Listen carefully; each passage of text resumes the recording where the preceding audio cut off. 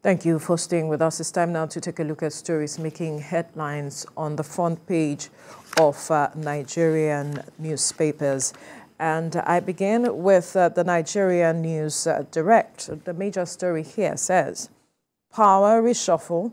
Tinubu suspends EFCC chairman as uh, panic rises among Buhari's appointees.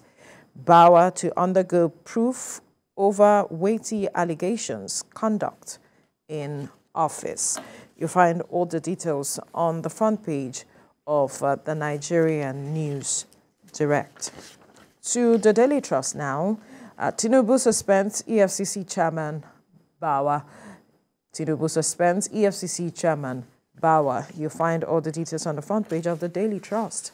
To this Nigerian newspaper now, Bawa End of the road. The president, President Tinubu suspends EFCC chair amid allegations of gross misconduct. Few days after Emefiele, CBN's governor's ouster. All the details on the front page of this Nigeria uh, newspaper. To the front page of the First News newspaper now, and still towing the same line of uh, the story of the suspension of the EFCC chair, Bawa surrenders to DSS on the goes grilling. And uh, the writer here says after President Tinubu orders his indefinite suspension probe over abuse of office. To the leadership newspaper now. Tinubu begins monetary policy reforms, floats Naira. Tinubu begins uh, monetary policy reforms, floats Naira. You find all the details on the front page of the leadership newspaper. Mike. All right, I have the Nation newspaper here, and it's saying CBN abolishes multiple naira dollars uh, exchange rates. Right? That's the Nation newspaper. CBN abolishes multiple naira dollar exchange rates. A market driven currency regime excites financial experts. Okay, that's what the Nation newspaper has. And from there, let's go to ThisDay. This day newspaper says CBN abolishes multiple exchange rates transactions now to hold on the I and E window forex rates. That's the import and export window uh, forex rates, right? That's what ThisDay newspaper has in there. From there, let's go to Daily Independent.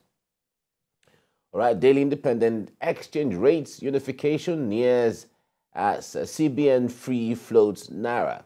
currency sells for 755 naira a dollar uh, danger ahead, and analysts warn. Okay, uh, th those are perspectives in there. However, the 755 naira is on the parallel market, which is not recognized by uh, the Central Bank of Nigeria. From that Daily Independent, let's go to the Guardian newspaper. Guardian newspaper says uh, Naira slums as CBN commences rates harmonization faces supply hurdle. Naira slums as uh, CBN commences rates harmonization faces supply hurdle. Okay, uh, on the infograph then front you will see uh, the rate of the Naira uh, since the regime of former President Olusegun Obasanjo in 1999 and how the Naira has uh, uh, fared all that time until now. The, the, yeah, that's the Guardian newspaper. Now, the Punch newspaper is the next one now. Punch newspaper is talking about the same thing. It says um, a currency floating. Private sector economists back CBN. Naira falls to 661 to a dollar. Right, Naira, there's a currency floating. It, it talks about fried, uh, private sector economists back CBN Naira falls to 664 Naira to the dollar. Okay, that's what uh, this, the Punch newspaper has. Business Day. Business Day says market thirsts for dollar supply after Naira float. Market thirsts for dollar supply after Naira float. That's what uh, the Business Day has. And from there, let's go to business, uh, well, Blueprint. Blueprint newspaper is saying that how Okowa embezzled Delta's 13% derivation funds. Clark is quoted as saying this. Right, says a misappropriation by Niger Delta governors course of uh, militancy. Okay, that's what he says there. And that's the last one we am, I'm seeing from this perspective. Veronica? All right, Mike, let's look up at uh, another matter.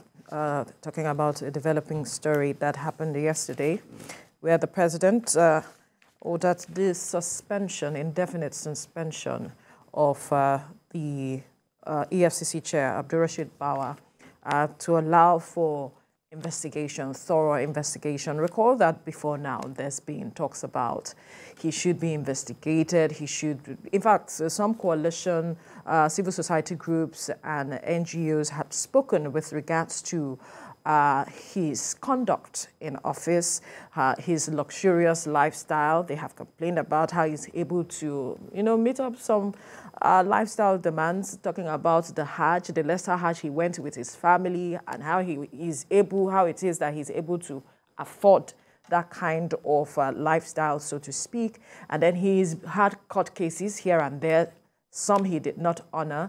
And um, these matters have been ongoing for a while. And recall that uh, former governor of uh, Zamfara State also accused him of uh, asking for a bribe because the governor has a case with the EFCC. All of these issues, you know, had sprung up over time. And now the president is saying, you know what, just step aside.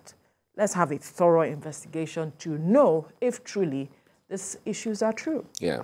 The, the point there is the office of the chairman of the EFCC is, is a very slippery one mm. because of the access they have to resources, especially seized resources. Yes. Good.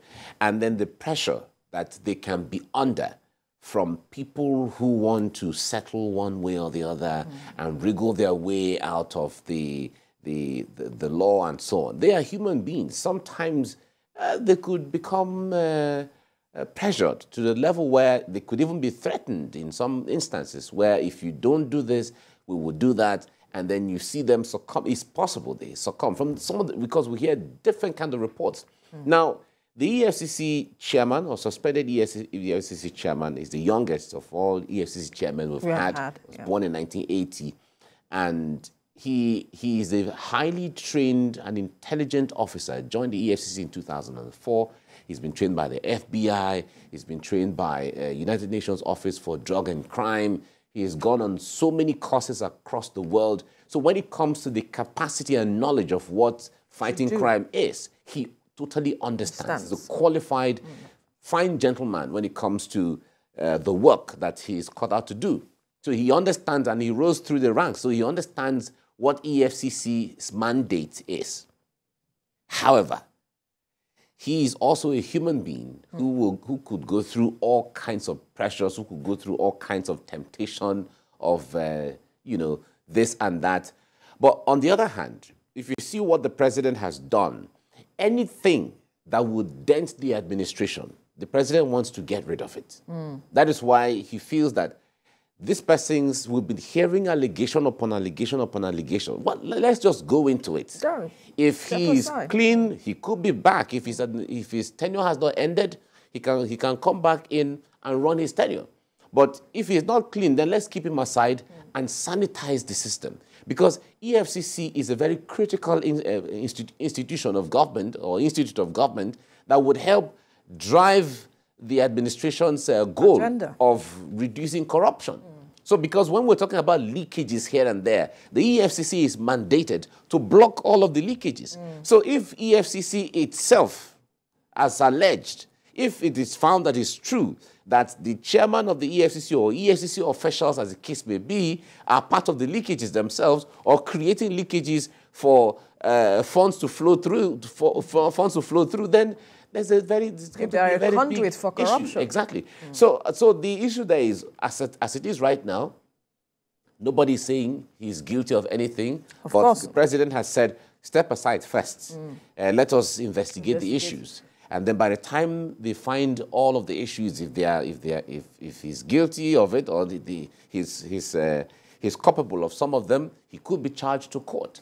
If, he's, if, they, if they find that all the allegations are baseless, he could be left to come back to the office and run his, his tenure. remaining uh, tenure, as the case may be. Now he's under ES, DSS uh, custody, mm. and the DSS, uh, since last night, I understand, have been having an interaction with him mm -hmm. regarding what he knows in some of the things that uh, were allegations Level, that were leveled, against, against, him. him. Mm. So that is that is anyway that is the right thing to even do in the first place. Mm -hmm. So uh, we wait to see what uh, will come out in the coming days mm. regarding this arrest. The most important thing is it's not about him as a person. It's about the institution. It's about the institution. Mm. It's about Nigeria at this time because the new administration cannot afford to allow allegations to go on and because you don't want to offend people or you don't want to, and then you allow things to, because all of this, the buck stops on the president's table. Mm -hmm. So if he does it well, he takes the credit. If he doesn't do well, he takes Comes the fall. So the issue there is anything, even the NNPC, the CBN, the EFCC, NDIC, whatever they, whatever they do wrong, it is the president that takes the credit or take, uh, sorry, takes the, the, the fall. Mm. So Nigerians want to see action from the mm. president and that is the action that he's. In fact, Nigerians have begun to speak right that they are waiting for some other persons to also, no, uh, for his searchlight to yes. be beamed it, on some other persons. If you if you see how the CBN governor was also suspended, yeah. the the EFCC chairman is being suspended. Mm. Others, other heads of government is. We saw in the papers this yes, morning that uh, started becoming, there's tension in the land. no, but if they don't have anything to hide, there's no need for tension. Absolutely. Right? There's no need to, for tension anywhere. Mm. If, there's, if you know that you've been your hands are clean, your hands are clean. There's no need. Mm. Do your work and move on. Right? Because yeah, we understand. Even yesterday, the EFCC chairman was with the president. Yes. Right? Of course let the, the work of government or governance go ahead. Absolutely. Right? So there's nothing to fear, actually, except days, if you have something to hide. Yes, even days before the CBN governor was suspended, he was with the president. He was with the president. they were talking about exactly. the monetary policy. So exactly. you can continue your conversation, but what has to be done has, has to, be, be done. done. And that is and the am, direction the president and is taking. And I am glad all of this... Um, chairman of the EFCC, CBN, former CBN governor, uh, they all understand mm. that it's not about them. It's about the work itself. Mm -hmm. So anyone who will come, ah, they are doing this because he's from here or he belongs. This has um, nothing yes. to do with that. This is about the institution of government. It's about governance. It's about, it's about Nigeria as a country and setting the record straight. Because when you hear people from outside say, ah, Nigeria is corrupt, when you hear Nigerians are corrupt, this is sending signals to the world that we are not ready for all of those anymore. We are better than the way mm. people outside paint us to be. Absolutely. We are far better than that. Nigerians are, are some of the most intel intelligent people around the world. Mm. We, are, we are very resilient and we are very hardworking people. So when people outside or because of one or two things, news, news flash on Nigeria about corruption, you think all Nigerians are corrupt, all Nigerians are fraudulent. That's not true. It's not very, it's not true at all. Absolutely. Uh, and now that we are seeing the direction of gov uh, the government and the president, you know, uh, leading the, from the front, I believe that uh, whoever even though I do not admire the person right now who has taken uh, the capacity, the position right now as uh, acting in ca acting capacity, um, I believe he's learning lessons from successive EFCC chairmen. We saw how they left, which is almost similar with how uh, Abdurrashid Bawa is is going now. So whoever is sitting in that capacity or that position right now yeah. would also be ensuring that uh, he does not dent his image in any way. He ensures that whatever he's doing, he's as transparent as possible in his engagement with persons because we know uh, there are those who want to set traps for you. There are those who want to do things. It, it's normal. It's a normal thing, it's but normal. then you need wisdom right now we to recall, manage that uh, position. Yes, we recall the days of uh, uh Dora Akunyili yeah. when she was at NAFDAC Yes. She, she mentioned how she has been under pressure. There were threats to her life. In mm. fact, there was a time that uh, she was shot at. Mm. And so the point there is, being, in fact, you recall the book by uh, um, uh, former Minister of, of uh, Finance, Ngozi Okonjo-Iweala, Fighting Corruption is Dangerous. Yes. I read that book, and in some of her narration, she tells how her, her, her family, her mom, her parents were, were kidnapped. Yeah you know, so the, it's, it's not easy, but the body language of the president, mm. because the president is the commander in chief, the body language of the president sends signals to everybody who to is the involved. direction, yes. And as it is right now, it is not business as usual anymore. So if you see what's going on right now, it tells you that even those who, whose hands are not clean will begin to go and wash their hands. Of course, let us go and wash our hands. the things we used to do, we don't want to do again. Please, we are okay. I used to do. I, I do, do them no more. so, so right. uh, naturally, things will begin to take shape. That's what. All right, all right. Uh, we hope for better days ahead with regards to all of the fight against corruption, and uh, we hope to see more developments in the coming days.